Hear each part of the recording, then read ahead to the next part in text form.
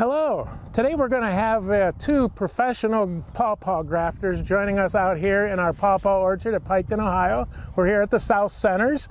Uh, the weather hasn't been very cooperative with us. We had uh, May weather in April and April weather in May. So when we were uh, scheduling our pawpaw grafting uh, video for today, usually by the middle of May we're getting the high temperatures and the good weather conditions and that has flip-flop on us but we're going to go ahead and proceed with a uh, with a demonstration today on grafting pawpaw and like I mentioned we have uh, Dr. Ron Powell who's the president of the Ohio Pawpaw Growers Association, and Sarah Francino, who's you all are familiar with. Uh, she was our master's student uh, for a couple years working with the farmers throughout Ohio, and she's now working on her PhD in pawpaw production. So they're going to be sharing with us today some of the skills, some of the tools, and some of the things we need to keep in mind when we go to graft our pawpaws. Howdy guys, I'm Sarah Francino and we're going to talk about the toolkit of grafting pawpaws. We are using Ron Powell's very large grafting toolbox. You don't need one this size, but having all of your tools in one spot so you don't forget anything is a good idea. First off, let's talk about grafting knives. So we're looking at different grafting knives here, comparing them to a different to a pocket knife. So pocket knife is double-sided, so it's not straight on either side, and it comes to a point. Whereas a grafting knife is flat on one side so you can make nice straight cuts. And there's different types. There, this is the traditional fold out. Some are, blades are curved like this, but they're, again, they're flat on one side. And then you have grafting knives that can be a little bit bigger and they're for nicer for bigger hands. But they're again flat on one side so we can make that nice cut. And you need to make sure that they're very, very sharp each time that you use them to graft. Some people also use razors or scalpel blades. They can be very sharp and they only last a few uses. You'll also need a set of sharp pruners to cut off the top of the tree, which is probably the hardest part of grafting, is beheading the tree. Always make sure to label your tree. Ron uses a pencil because it doesn't wash away like marker does. Marker usually lasts about three to four years, but on top of labeling, you also want to make a map of your orchard. Then coming to, after you've done the grafting, one of the first steps is to uh, put a rubber around it. These come in multiple different sizes and if you're, it will depend on the size of the tree and the graft. We usually use small to medium rubbers here. And you'll also want parafilm. There's also things like budding tape, um, but a low budget option is just to cut strips of parafilm about a quarter inch wide, and then that will stretch out to about a foot.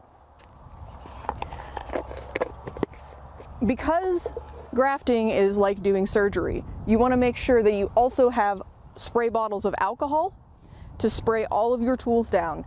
This is, we want to make sure we have an antiseptic environment, that it's all clean so that when we do the graft that it will take and there won't be any bacterial or fungal infections. And last off, you need to protect yourself because grafting is done with very sharp knives. And I always cut myself on my finger. So either use a band-aid to put on your finger where you're going to be cutting into. This is not the Boy Scouts like Ron always says. We are going to be cutting towards our hands, so make sure to protect yourself. And now we're going to move on to actually doing a graft on a pawpaw tree.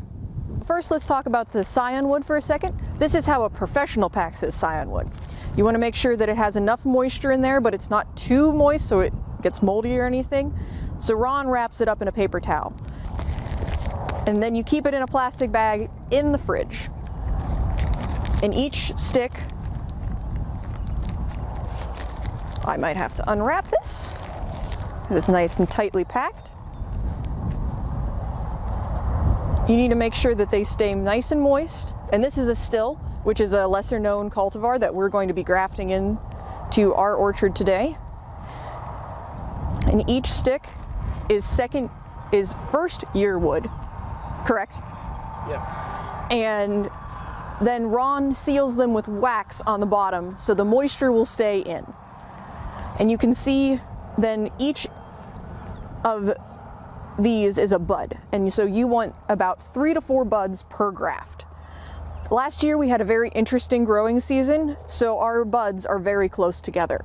So we'll be, it might be a shorter scion this year, but some years you'll have a longer scion. Just depends on the year, you want to count three or four buds. You want to make sure you store your scion wood in a cooler or in some sort of cool space in a dark space when you're out in the field. Today is kind of gloomy, but if you're you're supposed to be grafting in nice sunny degree, uh, 80 degree weather, so you want to make sure that it stays cool and moist. So we picked out our pawpaw tree here. This is a three-year-old uh, seedling that's ungrafted. We'll be using the variety K wood today, which is a lesser known variety. So first we want to look at the tree here and determine where we want the graft. We've got the scion wood and we want to match it up. Now this is not going to be a perfect matchup. The scion wood's a little small. So we're going to graft right in here. This is about the right diameter and we can ma match up those cambiums really well. So the first thing we want to do is prep our rootstock. You want to take alcohol and disinfect your nippers. And then you want to cut as close as possible to the sides of these lower branches and take them off because we don't want the rootstock pushing up vegetative growth. And then you want to make a flat cut across the top of the rootstock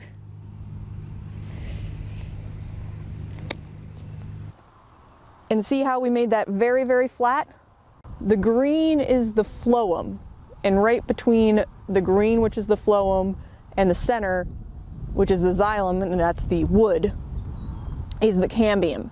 And that's what we need to shoot for. We need to shoot for the cambium of the scion to enter to go past the cambium of the rootstock. We will be doing a cleft graft today. Next, we're going to prep our scion wood. So you can see here, there's flower buds, and then there are smaller leaf buds. You want to take only the flower buds off, which look like chocolate bonbons, and you want to leave the leaf buds on there. This is because we don't want the scion, which is off of an older tree, to flower in its first year. As much as you want fruit, you need to wait three or four years before you leave flowers on your trees. To graft, we want about four buds, but we don't want to cut the scion right there. We want to cut it down a little farther. Give yourself about an inch or two, depending on how experienced you are. I'm this is one of my first grafts this year, so we're going to be giving my, I'll be giving myself a little bit of extra room to make sure if I make just a small mistake that I can go back and fix that with a little bit more length. So next, we're going to cut the scion.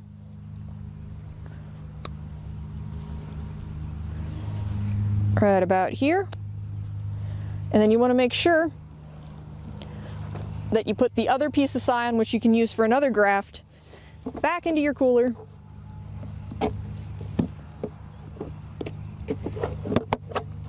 keep it nice and cool. Then you want to disinfect your knife.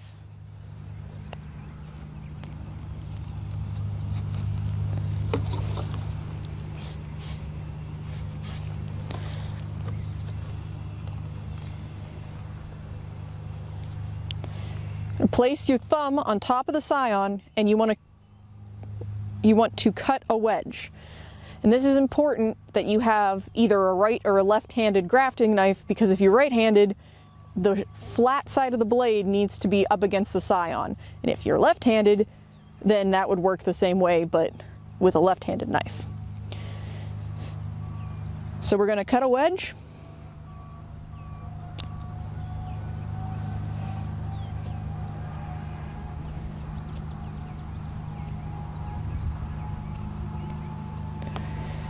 And this scion one is a little small. It's a little hard to do.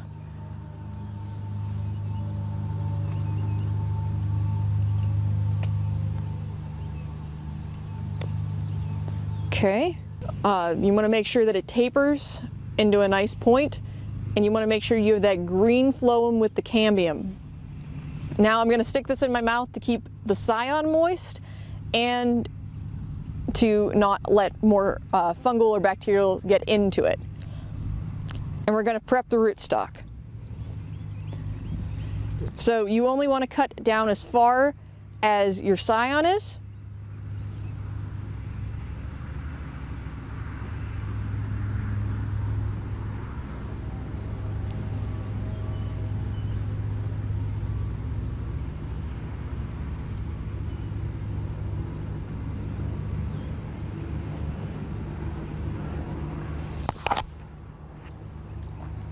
And then you want to stick your scion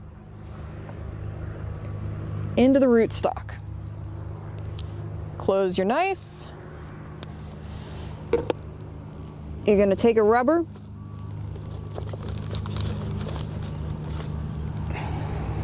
And this is where repetition helps. Because you're supposed to start the rubber off at the bottom and cross it back over and start winding it around. And this is where each person develops their own little technique and method to make sure that this scion is wedged in there nice and right.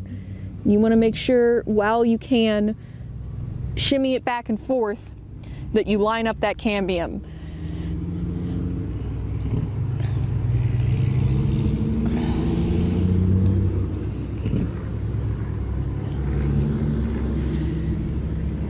Okay, and we're getting to the top. You want to put your finger in, tie this off.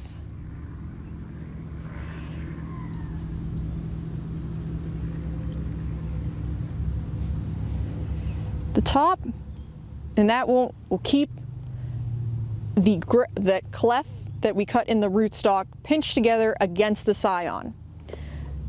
Next, we want to seal both the rootstock and the scion from any outside weather forces with some parafilm that we talked about earlier. Now, this stuff is very, very stretchy, so you need one piece, you stretch it out, and it seals to itself. So you have to be a little careful. Start with the bottom, roll your way up,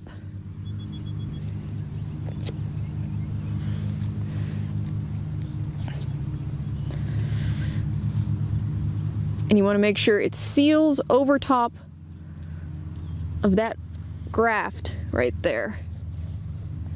You want to make sure it seals all the way over the top of the, the rootstock and that you're overlapping it on the scion. And then you roll it all the way up the scion. You don't have to worry about the buds breaking through the parafilm because it's thin enough and the parafilm is biodegradable.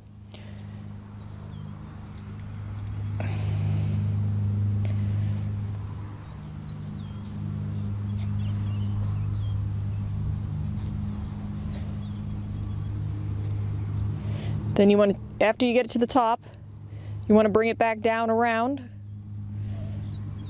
and seal it off here at the bottom. So we have first cut the scion wood, made it into a wedge. Then we've cut the cleft graft in the rootstock, sealed it with a rubber to keep it tight pinched against each other, then sealed the whole process with parafilm.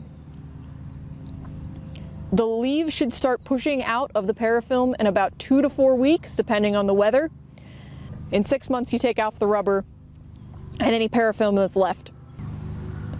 You might want to put a either some extra stick of pawpaw or a T-post or even something like uh, bamboo or just something to, uh, to tie this to because birds like to come sit on top of new grafts and they will then hurt them and tip them over.